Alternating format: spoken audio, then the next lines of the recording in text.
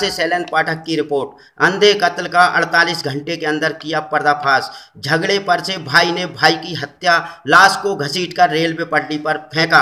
Cantt थाना क्षेत्र। Malkhan, Meena, gangman, railway line Guna ने सूचना दी कि एक अज्ञात व्यक्ति उम्र करीब 30 से 35 वर्ष का पटरी के बीच में मरा पड़ा है। ट्रेन से उक्त व्यक्ति कट गया है।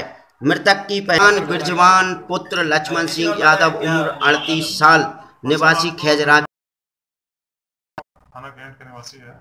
इसकी लाश हमें रेलवे ट्रैक पर मिली थी। इसकी लाश कट चुकी थी इस ब्लाइंड मर्डर को हमारे सी एस पी और हमारे टी आई ने उनको गंभीरता से लेते हुए इसमें कल से इसमें जाँच करी और ये पाया गया कि जो मृतक है, उसका उसके भाई से दारू के नशे में विवाद हुआ और जिसके चलते आरोपी ने उसके सर पे पत्थर से मारा, उसके चलते उसकी मृत्यु हो गई और अपनी कृत्य को छुपाने के लिए उसने उस लाश को रेलवे ट्रैक पर डाल दिया, जिससे कि ट्रेन से वो लाश कट जाए और इस तरह लगे कि वो रेलवे दुर्घटना है।